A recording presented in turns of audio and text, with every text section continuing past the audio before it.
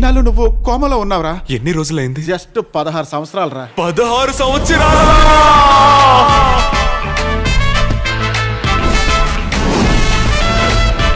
బావా రెడీ. ఏంట్రా ఇది? నాగ చైతన్యలా రెడీ అవుతావు అనుకుంటే నాగేశ్వరరావు రెడీ అయ్యా రే మనూరు అమెరికాలా అయిందిరా? అమెరికా ఇప్పుడు ఎలా ఉందో తెలుసా? చిన్నప్పుడు ఒక చెరువులో ఈత కొట్టేవాళ్ళం కదా. అక్కడికి వెళ్దాంరా. దాని మీద ఇప్పుడు నడుస్తున్నాం.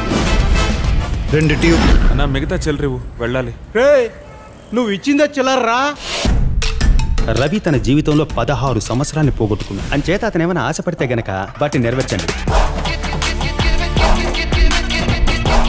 అయ్యో ప్యాంట్ చిరిగిపోయిందండి. అందరూ చూస్తున్నారు. ఏంటి ఇలా వచ్చారు?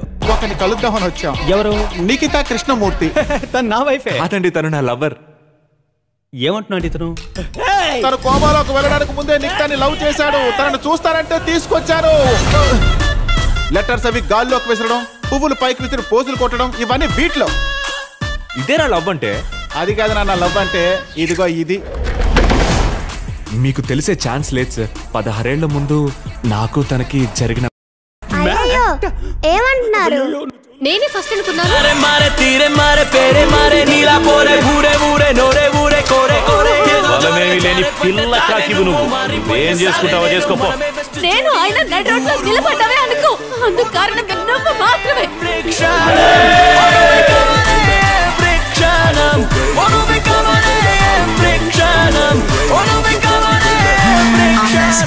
పగలు కొట్టరా దాన్ని పగలు కొట్టరా పగలు కొట్టరా పగలు కొట్టరా దాన్ని పగలు కొట్టరా పగలు